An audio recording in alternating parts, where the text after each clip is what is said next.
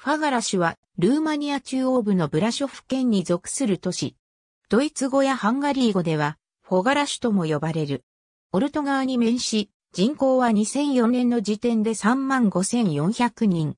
要塞、ラドネグル高校、改革派協会、カトリック協会などの観光スポットがある。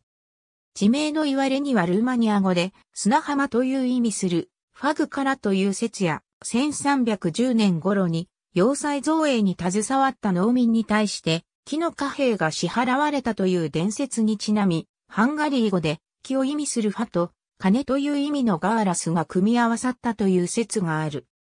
しかし、スラブの言葉で山を意味するゴラから派生したというのがその地勢や南カルパチア山脈に近いことからして有力とされる。中世にはアムラシュと共にトランシルバニア内のルーマニア飛び地であった。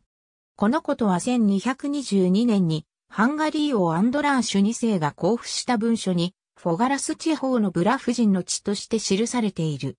1241年から1242年のタタール人による侵略の後にトランシルバニアザクセン人が入植した。1369年にラヨシュ一世が家臣のワラキア公ブラジスラフ一世にファガラシュの荘園を与えてから1464年まで代々のワラキア公が支配した。ワラキア公時代を除いて、町には多くのハンガリー王の荘園が存在した。トランシルバニア公、ベトレンガーボルの規制下に要塞が再建され、王国南部の経済モデル都市になると、女王の都との異名を持つハンガリーのベスプレームと同等の価値があるとされ、トランシルバニア公の日が代々暮らし始めた。1658年には、ラーコーツジェルジ一世の日、ロラーント・フィーチュジャンナによって、ブラフ人学校が開校した。これらの日の中で最も有名とされるのはかつて、孤児だったベトレン方で、死後は改革派教会の表に埋葬された。その教会には、今でも家紋の刺繍が入った貢献性の結婚衣装など、彼女の貴重な遺品が保管されている。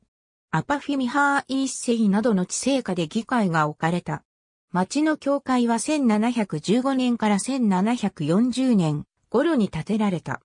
1909年に開学したラドゥネグル高校は、もともとハンガリー語の中学校でバビチミハーイも人敷教鞭を取った。町には要塞を去ったネグルボダが南のトランシルバニアアルプス山脈を越え、ワラキア公国を建国したという言い伝えが残る。要塞は12世紀後期にはまだ木造だったが、14世紀に石造りに改築された。20世紀に入り、ルーマニアに共産主義体制が勃興すると、ファガラ市場は接収され政治犯収容所となったが、1989年の体制崩壊後に復元され、現在は博物館と図書館になっている。地域経済は革命とその後の改革によってかなり脆弱になっており、イタリア、スペイン、アイルランドなどに出稼ぎに出る者もいる。ありがとうございます。